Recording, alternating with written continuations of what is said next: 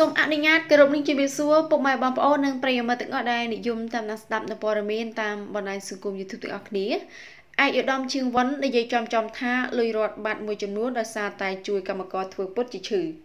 ភ្នំពេញថ្មីថ្មីនេះដែរមានការព្យាបាលជាខ្លាំងក្រោយរដ្ឋសភាកំពុងធ្វើសេចក្តីព្រាងច្បាប់ដើម្បីចាត់វិធានការលើវិជ្ជាបណ្ឌិតនិងអ្នកជំងឺដែលខុបខិតគ្នាកេងបន្លំថវិកាបេឡាជាតិរបបសន្តិសុខសង្គម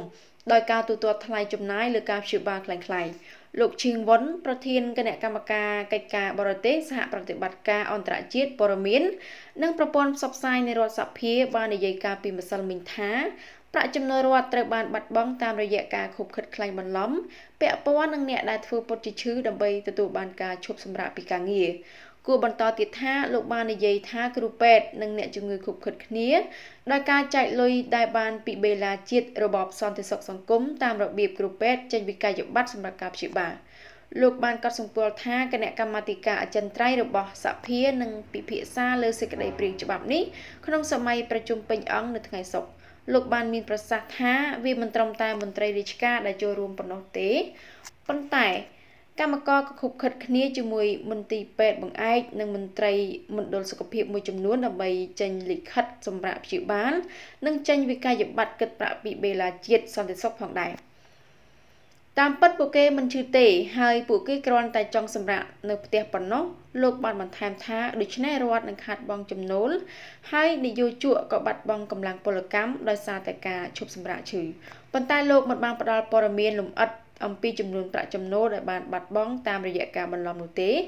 លោកហេងសួរអ្នកនាំពាក្យក្រសួងការងារបាននិយាយការពីម្សិលមិញថាក្រសួង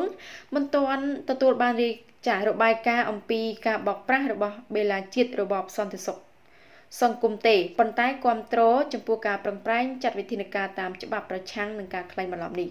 លោកបានមានប្រសាសន៍ថាយើងមិនទាន់បានទទួលរបាយការណ៍ពីរដ្ឋសភានៅឡើយទេយើងកំពុងរងចាំសហការជាមួយរដ្ឋសភាដើម្បីស៊ើបអង្កេតនិងចាត់វិធានការតាមផ្លូវច្បាប់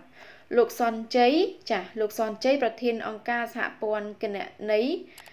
ចាគណនេយ្យភាពសង្គមកម្ពុជាបានថ្លែងការពីម្សិលមិញថា លោកស្វាគមន៍ចំពោះការបដិញ្ញាចិត្តរបស់ក្រសួងក្នុងការចាត់វិធានការតាមច្បាប់ប្រឆាំងនឹងមណ្ឌលសុខភាពនិងគ្រូពេទ្យនិងមន្ទីរពេទ្យឯកជនដែលខុបខិតជាមួយអ្នកជំងឺដើម្បីបោកប្រាស់បេឡាជាតិរបបសន្តិសុខសង្គមយ៉ាងណាមិញលោកបានមានប្រសាសន៍ថាមានករណីអ្នកជំងឺរៀបចារៀបចំជាមួយវិជ្ជបណ្ឌិតដើម្បីទទួលបានការឈប់សម្រាកឈឺ ហើយពួកគេចែកប្រាក់សំណងពីបេឡាជាតិរបបសន្តិសុខសង្គមសម្រាប់ការចំណាយលើថ្លៃព្យាបាលជំងឺលោកមានប្រសាសន៍ថាវាជាអំពើពុករលួយក្នុងការចេញលិខិតបញ្ជាពេទ្យនិងដើម្បីទាមទារប្រាក់ពីរដ្ឋដូច្នេះយើងគ្រប់គ្រងបទបញ្ជារបស់រដ្ឋាភិបាលដើម្បីចាត់វិធានការផ្លូវច្បាប់ប្រឆាំងនឹងករណីប្រភេទនេះពួកគេកំពុងធ្វើឲ្យរដ្ឋបាត់បង់ថវិកាជាតិដោយឡែកកាលពីខែសីហាលោកនាយករដ្ឋមន្ត្រីហ៊ុនសែនបានអនុម័ត សេចក្តីព្រាងច្បាប់នេះដើម្បីចាស់ពង្រីក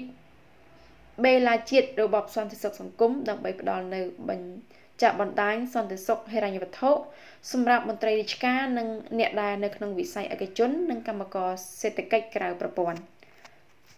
ចា៎នេះគឺជាអត្ថបទព័ត៌មានមួយដែលតាក់ទងទៅនឹងឯកឧត្តមឈៀងវុននិយាយចំចំថាលុយរដ្ឋបាត់មួយចំនួនដោយសារតែជួយកម្មករធ្វើពុតជាឈឺចា៎ នាងខ្ញុំក៏សូមបញ្ចប់នៅព័ត៌មានត្រឹមតែប៉ុណ្ណេះហើយជាចុងក្រោយក៏សូមអរគុណដល់ពុកម៉ែបងប្អូននិងប្រិយមិត្តទាំងអស់ដែលតែងតែតាមដានស្ដាប់នៅព័ត៌មាននិងវីដេអូរបស់នាងខ្ញុំហើយសូមកុំភ្លេចជួយ Subscribe และ Share Channel របស់នាងខ្ញុំដើម្បីទទួលបានព័ត៌មានថ្មីៗជាបន្តទៅពីនេះនៅពេលនេះនាងខ្ញុំសូមអរគុណសូមគោរពលា